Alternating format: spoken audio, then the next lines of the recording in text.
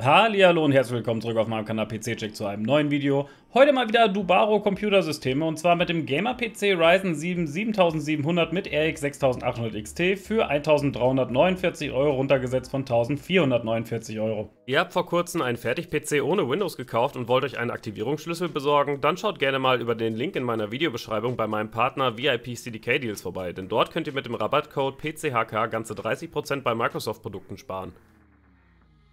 Zahlen könnt ihr ganz bequem via Sofortüberweisung, Visa, PayPal und so weiter. In meinem Fall habe ich PayPal gewählt, weil dies für mich die schnellste Variante war. Danach werdet ihr automatisch in euer Benutzerkonto weitergeleitet und könnt euch dort den Code anzeigen lassen. Den kopiert ihr nun, sucht über die Windows Taskbar nach Aktivierungseinstellungen, fügt dort euren Code ein und ihr habt nun ein aktiviertes Windows.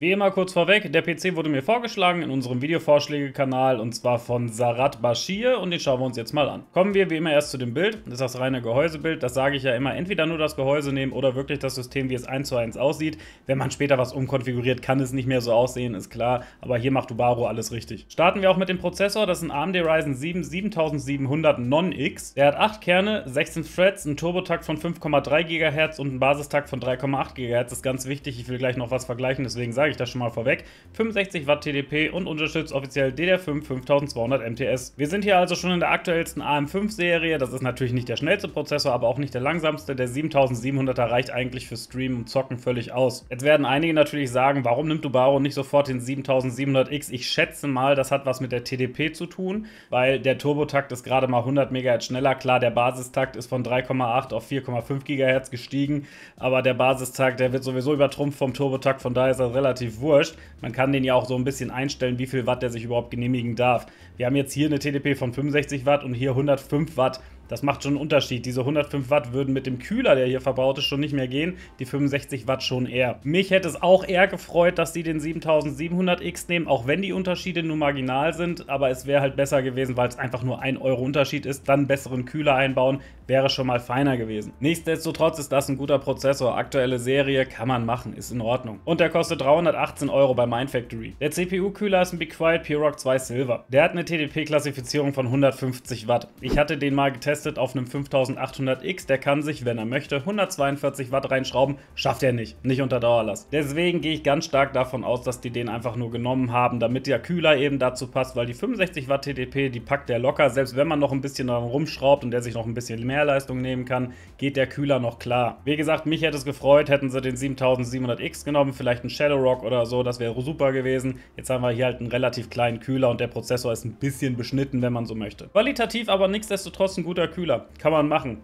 Passt auch zum Prozessor in dem Fall. Für alles andere würde ich stärkere Kühler nehmen. Und der kostet 33,19 Euro bei Mindfactory. Das Mainboard ist ein ASRock A620M Pro RS DDR5. Und das ist jetzt so ein Punkt, das bin ich von Dubaro mittlerweile gar nicht mehr gewohnt. Die packen ein Micro-ATX-Bot in ein Full-ATX-Case. Es könnte vielleicht daran liegen, dass das kein Kreativecke oder Hardware-Deals-PC oder so ist, sondern einfach ein Freier von Dubaro, aber ich verstehe nicht, warum man sowas macht. Ja, natürlich, die AM5-Plattform ist teuer, genauso wie DDR5-Speicher. Die Mainboards da drin sind auch noch teuer, weil es halt relativ neu ist. Ja, das Mainboard ist weiß, passt natürlich dann zum Gehäuse, aber irgendwie, ja, das will bei mir nicht in die Birne rein. Dazu kommt noch, wir haben einen A620 Chipsatz. Wenn man sich hier die Tabelle anguckt, den Link schicke ich euch auch in die Videobeschreibung, sieht man, A620 ist sozusagen der Einstiegschipsatz für AM5. Danach haben wir noch B650 und X670 und das hat auch was damit zu tun, wie viele Lanes habt ihr für SSDs und die Grafikkarte und wie viele USB-Anschlüsse, welche Geschwindigkeiten und so weiter. Das geht jetzt aber zu sehr ins Detail. Ich wollte es euch nur mal gezeigt haben. Wenn ihr Interesse habt, klickt einfach auf den Link in der Videobeschreibung, guckt euch die Grafik mal selber an. Also sie haben hier schon was sehr günstiges genommen, kleinster Chipsatz und der kleinste Mainboard-Faktor, wenn man ITX jetzt mal außen vor lässt. Ansonsten haben wir gekühlte Spannungswandler, vier RAM-Bänke, hier kann SSD verbaut werden, hier unten zum Beispiel eine kleine WLAN-Karte oder ähnliches und hier kann noch eine SSD verbaut werden und hier auch.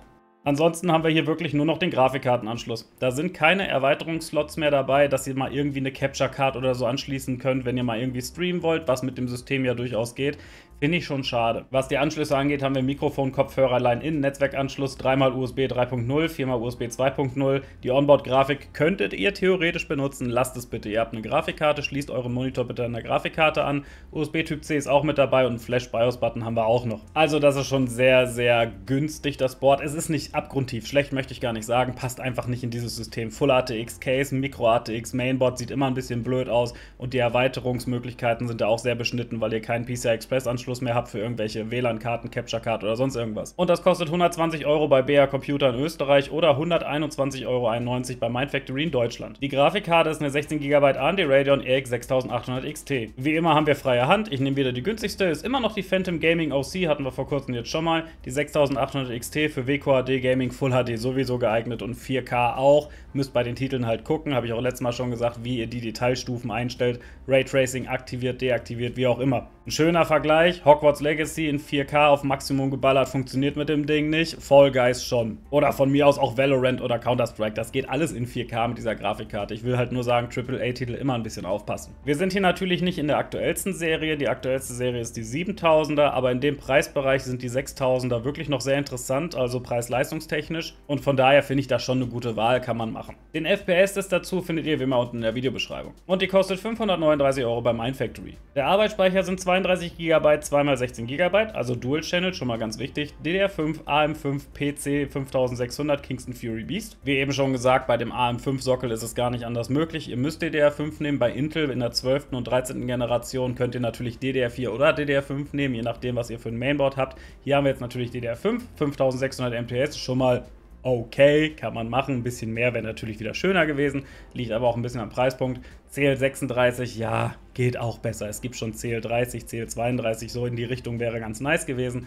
Ist jetzt nicht der schlechteste RAM. Ich selber habe von Kingston die Fury Renegade mit RGB-Beleuchtung. Die sind noch ein bisschen hübscher, aber da liegt eh nicht jeder Wert drauf. Das ist schon in Ordnung so. Und der kostet 114,90 Euro bei computeruniverse.net. Die Festplatte ist eine 1 TB Kingston NV2. Die hat eine Lesegeschwindigkeit von 3500 MB die Sekunde und eine Schreibgeschwindigkeit von 2100 MB die Sekunde. Reicht fürs Zocken eigentlich aus von der Geschwindigkeit. Natürlich gibt es schnellere, muss aber nicht sein. Für den normalen Gamer ist es wurscht. Ich persönlich finde diese schnellen SSDs nur interessant, wenn ihr jeden Tag viele Daten sichert oder kopiert. Ihr habt wirklich zwei SSDs, die eventuell sogar 7000 MB die Sekunde lesen, schreiben können. Das macht die ganze Sache richtig interessant. Ein Terabyte müsst ihr selber wissen. Ich hätte wie immer 2 Terabyte reingeworfen, weil die SSD-Preise gerade eh im Keller sind. Aber gut, 1 Terabyte in dem Preisbereich kann man machen. Und die kostet 39,90 Euro bei Cyberport. Das Netzteil ist ein 850 Watt Be Quiet System Power 10 80 plus Gold. Das hat 5 Jahre Herstellergarantie, ist 80 plus Gold zertifiziert und hat festes Kabelmanagement. 850 Watt reicht ganz dicke für diese Kiste, ist sogar schon zu viel. Warum es ein System Power sein muss, weiß ich auch nicht. Ich hätte da lieber einen Pure Power gesehen. Oder vielleicht sogar einen Straight Power, aber in dem Preisbereich ist wurscht. Pure Power reicht da. System Power ist eher so Richtung Bürorechner, habe ich immer noch dieses Feeling. Die sind qualitativ nicht schlecht, aber es ist halt auch nicht modular. Ah, muss auch nicht sein. Das Ding ist einfach, ich habe viele Vergleichssysteme. Kreativecke, Hardware-Deals, Nilsson, alle, die bei Dubaro irgendwelche Systeme anbieten, haben einen Pure Power da drin. Es sei denn, ihr pimmelt jetzt bei irgendwelchen Systemen bei 600 Euro rum, das ist wieder ein anderes Thema, aber hier muss es echt nicht sein. Und das kostet 95,70 Euro bei Mindfactory. Das Gehäuse ist ein Corsair 4000D Airflow Weiß. Das hatte ich selber schon im Review. Das Thema hier ist jetzt einfach, ihr habt vorne einen Lüfter und hinten einen Lüfter. Das reicht bei diesem System irgendwo noch aus. Schöner wäre es gewesen, wenn sie vielleicht noch zwei Lüfter in der Front ergänzt hätten, hätte besser ausgesehen und der Airflow wäre deutlich besser gewesen. Aber es funktioniert so, wie es jetzt ist. Dass das Gehäuse weiß ist, ist eventuell auch dem Mainboard geschuldet oder andersrum. Die haben das weiße Gehäuse genommen, das weiße Mainboard mit rein konfiguriert. Aber ja, qualitativ, wie gesagt, hatte ich im Review, ist okay. Und das kostet 84,03 Euro bei Amazon. Ist gerade so ein Sonderangebot wegen den Prime Deals. Wie immer bei Dubaro, Betriebssystem optional erhältlich. Macht euch einen USB-Stick fertig, installiert es selber, packt einen Key rein, dann seid ihr auch fertig damit. Service 2 Jahre Garantie, ihr bekommt einen Retourenschein, also Pickup und Return ist nicht. Ihr kriegt dann halt einen Zettel, müsst das selber zur Post bringen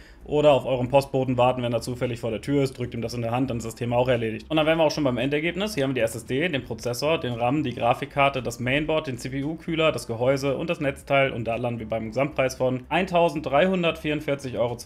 Das System soll kosten 1349 Euro, runtergesetzt von 1449 Euro. Selbst für 1449 Euro wäre es noch okay gewesen. Der Preis ist jetzt natürlich super. Dafür holt mich diese Konfiguration nicht so wirklich ab. Ein System Power Netzteil, ein ziemlich kleiner Luftkühler, den 7700er von AMD anstatt den mit X. Ah, alles so Themen muss nicht sein. Und das Mainboard, da brauchen wir gar nicht drüber reden. Wie gesagt, das System wurde mir vorgeschlagen. Eventuell hat derjenige sogar mit dem Gedanken gespielt, sich das zu kaufen. Ich würde sagen, kaufst die lieber nicht, geh auf irgendein alternatives Angebot. Man kann jetzt bei Dubaro suchen oder bei Hardware-Rad, von mir aus auch Krotos, Agando, wo auch immer. Aber das System, so wie es jetzt hier steht, würde ich nicht nehmen. Man kann jetzt natürlich die ganzen Sachen auch umkonfigurieren, hat damit aber auch wieder eine Menge Arbeit. Ich würde es lassen. Das wäre es dann auch wieder mit diesem Video. Vielen Dank fürs Zuschauen. Lasst ein Däumchen nach oben da, wenn es euch gefallen hat. Bis dahin, auf Wiedersehen und ciao, ciao.